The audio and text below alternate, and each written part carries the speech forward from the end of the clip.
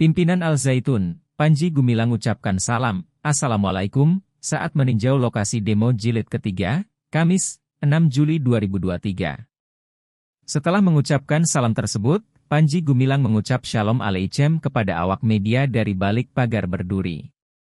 Pada kesempatan itu, awak media memberi sejumlah pertanyaan kepada Panji Gumilang.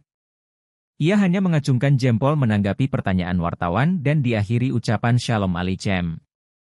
Diketahui, Ponpes Al Zaitun kembali didemo oleh warga.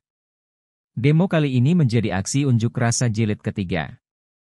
Aksi tersebut diinisiasi oleh Aliansi Santri Rakyat Indonesia untuk Indramayu. Aksi unjuk rasa jilid ketiga di Ponpes Al Zaitun Indramayu sempat ricuh, Kamis, 6 Juli 2023. Ada dua orang masa aksi yang diduga provokator terlihat diamankan oleh polisi. Hal tersebut berawal dari masa aksi dari Aliansi Santri dan Rakyat Indonesia untuk Indramayu yang mencoba merangsek mendekat ke gerbang Ponpes Al Zaitun Indramayu. Dalam kejadian itu, bahkan beberapa orang polwan sampai terhimpit-himpit dan terjatuh terdorong oleh masa aksi.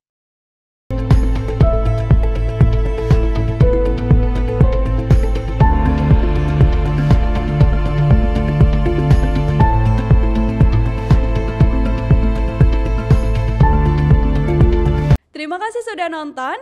Jangan lupa like, subscribe, dan share ya.